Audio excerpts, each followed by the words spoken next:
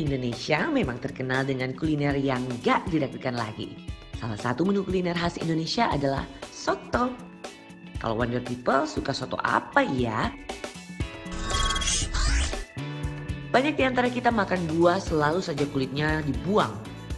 Padahal kulit buah itu ada manfaat untuk kesehatan loh.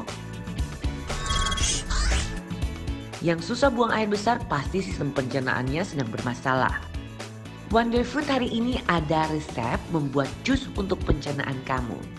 Jadi tetap stay tune di Wonder Food ya.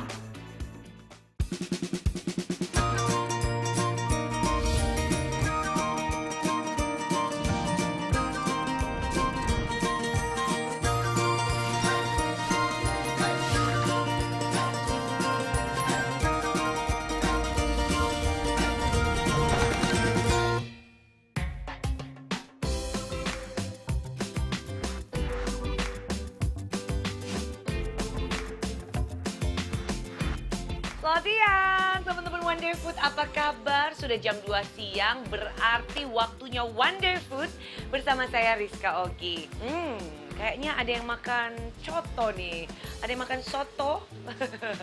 Emang soto tuh paling seger banget ya, mungkin karena bumbunya yang gurih, sehingga kalau makan dengan soto tuh enak banget. Tapi soto tuh di Indonesia banyak macamnya ya, ada yang soto daging, ada yang soto ayam, ada yang pakai kari, wah macam-macam banget. Tapi ngomong-ngomong nih, teman-teman Wonder Food mengenal soto yang ada di Indonesia apa aja sih? Soto Betawi, soto Kudus, soto Lamongan, soto Padang, soto Banjar. soto Betawi, soto Kudus, soto Lamongan, Banjar, soto Padang. Betawi, Kudus, Lamongan. Nggak tahu. Nggak tahu. Soto Betawi, Eh, saya suka karena dia lebih gurih, terus juga ada santannya, bumbunya juga lebih terasa.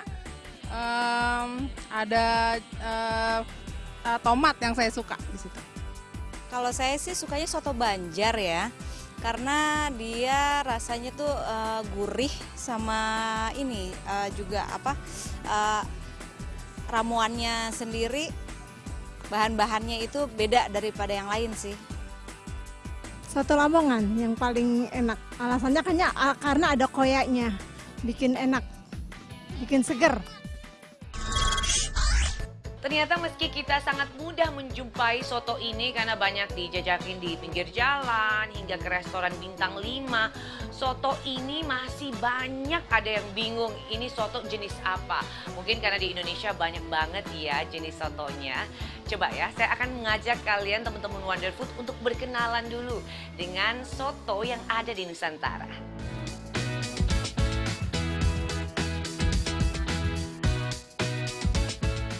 Ada soto Betawi. Soto yang satu ini memang cukup legendaris loh di wilayah Jakarta. Soto daging ini menggabungkan potongan daging sapi yang biasanya ditambahkan dengan jeruan untuk menambah sensasi makan soto. Kuah soto ini menggunakan saus dan santan kental yang menambah gurih. Yang membuat berbeda adalah penambahan tomat dan taburan emping sebagai pelengkap.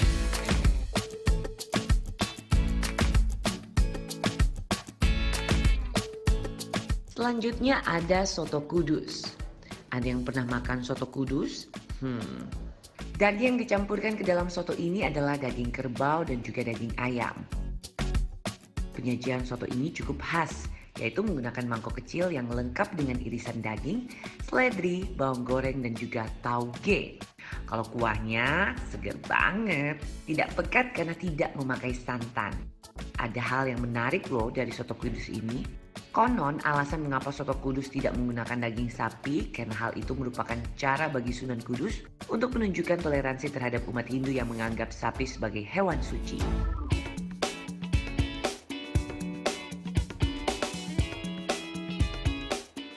Ada lagi nih soto khas Nusantara yang gak kalah enaknya, soto Padang. Selain rendang, soto Padang ini juga menjadi salah satu menu kuliner favorit semua orang. Makanan berkuah yang satu ini cukup bening terbuat dari kaldu sapi. Kuah soto Padang punya rasa kejut gurih yang khas karena adanya campuran cuka dalam racikannya. Ciri khas lain dari soto ini adalah daging sapi goreng kering yang menjadi sensasi kriuk-kriuk saat Wonder People memakannya. Selain itu, campuran dalam soto Padang adalah perkedel kentang dan juga bihun. Ini menjadi makanan favorit saya, jadi pengen soto Padang deh.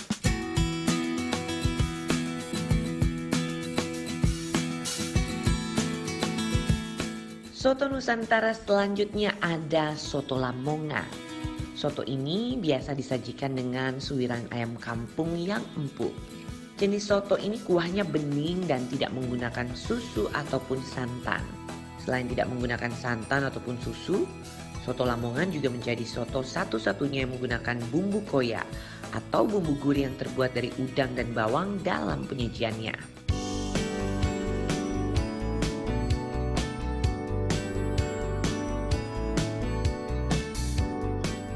Dan jenis soto Nusantara lainnya ada soto Makassar. Ini juga favorit saya.